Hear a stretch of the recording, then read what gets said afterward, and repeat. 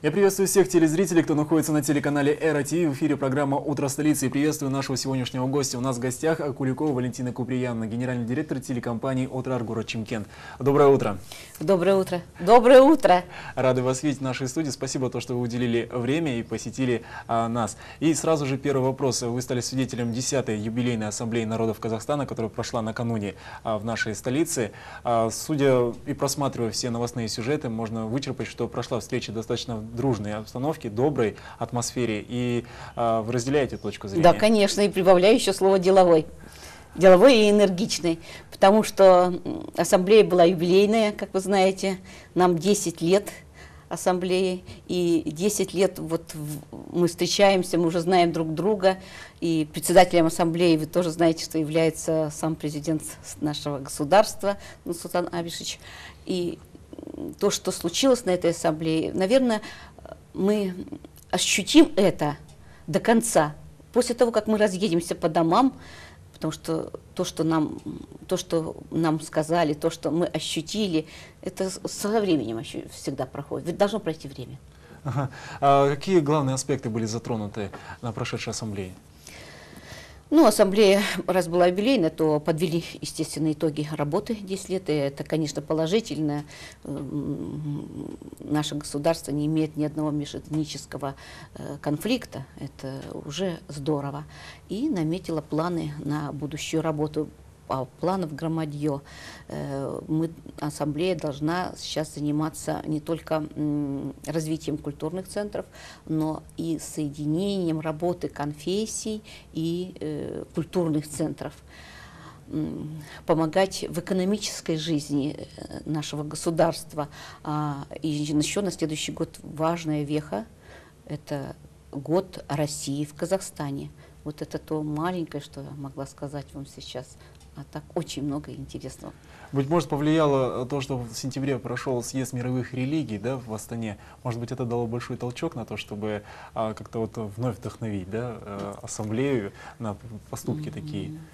Мне кажется, не только толчок, это большое представительство конфессий, встречи конфессий в нашем, в нашем государстве. Это новую окраску для нашей работы дало. Это дало больше зону деятельности для работы Ассамблеи народов Казахстана. Ага. Коль мы заговорили об э, о том, что у нас все спокойно, действительно, в Казахстане, слава да, Богу, Богу, что да. все хорошо. А вы возглавляете одно из э, средств, одно из средств массовой информации в южном регионе страны, mm -hmm. можно сказать так. И как в Шимкенте происходят дела? Как вот там а, с государственным языком и вот э, нету ли каких-то трений? Э, вы знаете, наверное, о том, что наша область э, ведет дело производства на государственном языке.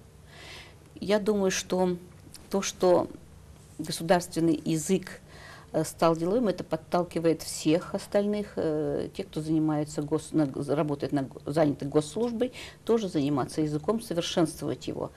Да, у нас большинство э, населения это коренное население, и мы думаю, что соответствуем тому времени и тому закону, который у нас существует в средствах массовой информации. Наше телевидение работает 50 на 50. И мало того, мы еще говорим на третьем языке, а третьим языком эта лицензия у нас выдана на узбекском языке. Здорово. Да. А распространение на Узбекистан или? Нет, у нас очень большая диаспора живет э, своих узбеков, которые. У нас большой культурный центр, у нас даже есть свой узбекский театр. Здорово. А, коль мы коснулись средств массовой информации, можно, можно и коснуться, впрочем, и закона о средствах массовой информации, законопроекта, mm -hmm. да, который сейчас э, бурно обсуждается, скажем, скажем, в Мажилисе парламента Республики Казахстан. Вот могли бы тоже свою точку зрения насчет этого выразить? Ну, свою точку зрения мы э, уже ее выражали в письмах, в записках министерству, своим депутатам. Конечно, я думаю, что вот для такой ранней утренней беседы всего не скажешь, но очень много того, что не должно бы было быть в новом законе. И сложно будет работать журналистам э, с новым законом.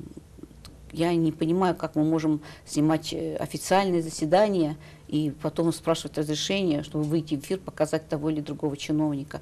Это очень сложно. В законе не очень ясно было э, отношение между редакцией и учредителями тоже довольно много непонятного было.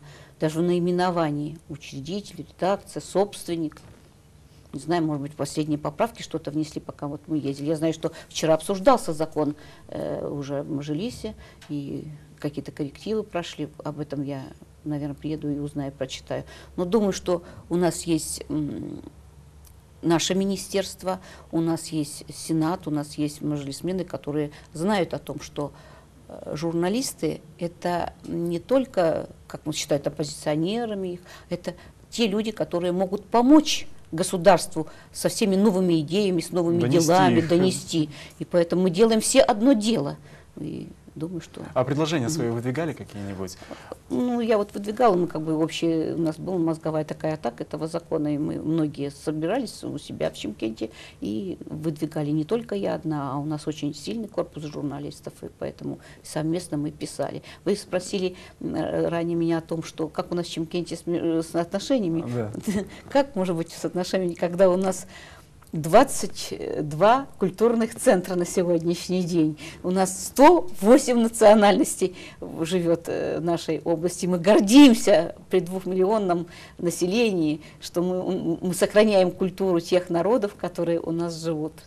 Просто прекрасно все, отлично. Мы, э, я думаю, что очень теплые, хорошие отношения. Даже Новый год центр встречают все вместе. А, здорово.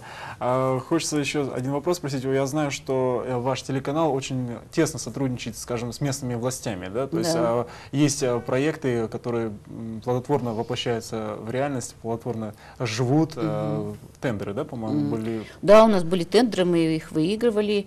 И у нас есть очень интересный проект, который нас поддерживает фонд Евразия, который делается совместно с городской и областной администрацией. Это единственный, наверное, проект на всю республику. Это называется называется открытый бюджет, э, где задача наша, чтобы каждый житель нашей области, нашего города знал, на что идут бюджетные деньги, на что он имеет право в медицине, на что он право имеет в образовании. Э, то есть все, и вот мы заканчиваем этот а, проект в феврале, как бы вместе со всем населением в эфире мы обсуждаем новые цифры, которые появились у нас в новом бюджете на 2004 год. А у вас нету ли планов? Я знаю, что телеканал «Утрар», да, шимкентский, он достаточно с большой традицией, скажем, да, ну, угу. порядка 10 лет, по-моему, да, да, да. телекомпания. 11 уже. Уже 11. 11, да. А здорово. А не планировали ли выйти на республиканский уровень? Э, пока а, мы плани... Нет, пока мы планируем выйти на область, это для нас очень важно, выйти на область, а не на республику. На республику есть у нас много каналов, которые выходят. Мы хотим, чтобы нас слышали и видели в области нашей родной. Здорово. Еще раз, уважаемые телезрители, напомню, что у нас в гостях генеральный директор телекомпании «Утрар» город Чемкент Куликова Валентина Куприянна. И я вижу действительно а, обаятельную женщину э, с веселым энтузиазмом. И вот э, у меня сразу вопрос. Я вижу орден. Да. А, за что и что он означает? Орден – это курмет. Я счастлива, я просто счастлива от того, что я была награждена вот указом президента к 16, 16 декабря мне вручили в День независимости нашего государства э, за вклад в развитие нашего э, доблестного государства. Э, сердечно поздравляем вас с орденом за Спасибо. то, что действительно вносите вклад в развитие нашей республики. С наступающим 2004 годом и ваши пожелания зрителям нашего телеканала. Зрителям канала я желаю благополучия, я желаю здоровья, я желаю, чтобы ваши Дастарханы всегда были полны, чтобы вы больше улыбались, а чтобы вам, ваши дети, приносили только отличные новости в дом. Еще раз, с Новым годом! Привет большой из Южно-Казахстанской области, город Шимкент. Спасибо вам большое. Конечно же, вам крепкого здоровья, успехов творческих и, конечно же, крепкого-крепкого здоровья. Спасибо. Ну, мы не прощаемся с вами, уважаемые телезрители. Мы продолжаем программу, программу «Утро столицы».